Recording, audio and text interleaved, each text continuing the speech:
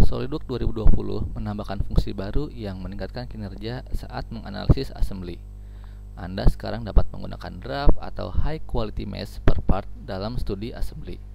Opsi ini meningkatkan kinerja, memungkinkan studi yang lebih besar, dan memberikan hasil berkualitas tinggi serta cepat.